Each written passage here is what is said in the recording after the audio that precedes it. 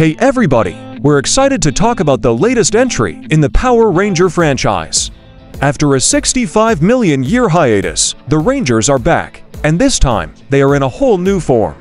Not only have they upgraded their armor, but they've also brought in the latest technology. Our main hero is Jason Scott, a high school football star who finds himself in detention after an innocent prank.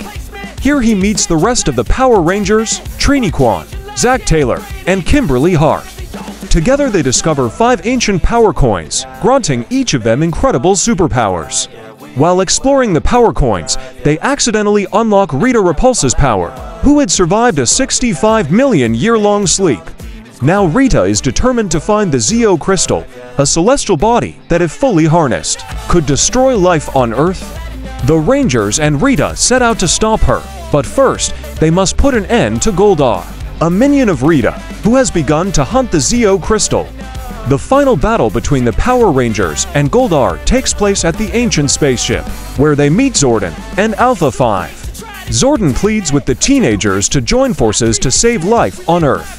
But the Rangers are unsure of how to fight Rita and her evil minions. Despite the fact that the new Power Rangers have all the technology and armor, it's clear that they are up against a powerful foe.